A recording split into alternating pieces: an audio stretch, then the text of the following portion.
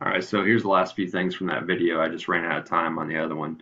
So the last thing that happened was we couldn't save our BOM template directly to our hard drive, so I ended up saving on my desktop. So I'm going to find it here on my desktop. I'm to right click on it, choose copy, and then I'm going to go to that folder on my C drive. So C program files, SOLIDWORKS Corp, SOLIDWORKS Lang in English. And this is where all of my other BOM templates are at. So I'm going to just paste it in here and it says I need administrator permission. It should tell you the same thing, but you should be able to hit continue and we'll go ahead and paste it in that location.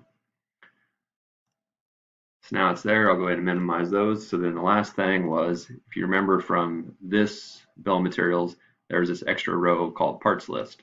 So to get that in here, we're gonna click on this four-headed arrow, and then these two little triangles at the bottom, just click on those triangles. It'll shoot another row in there, and then you can just highlight that text and replace it with the words parts list. Other than that, everything else should be set up the way it, it needs to be.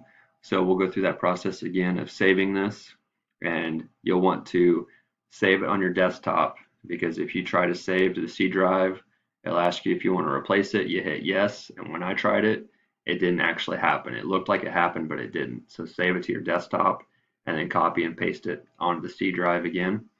So go ahead and do that now.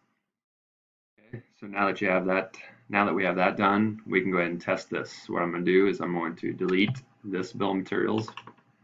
I'm going to go ahead and delete this view.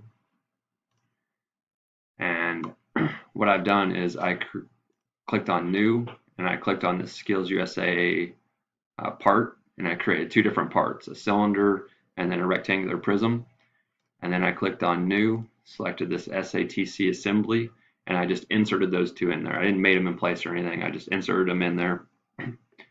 and so then we're going to come back to our drawing and do a model view. And I had to save all those. And I, so I just saved them on my desktop so I could delete them later.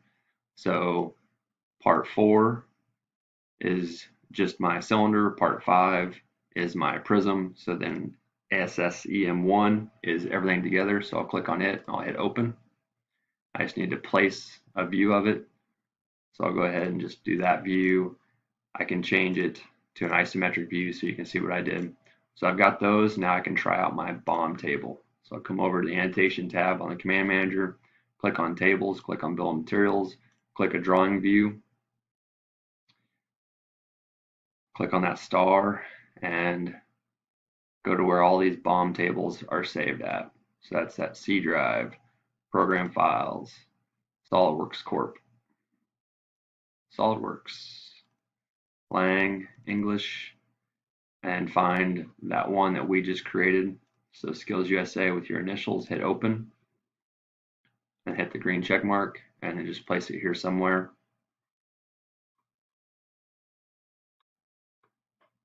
And so that should match what we did here.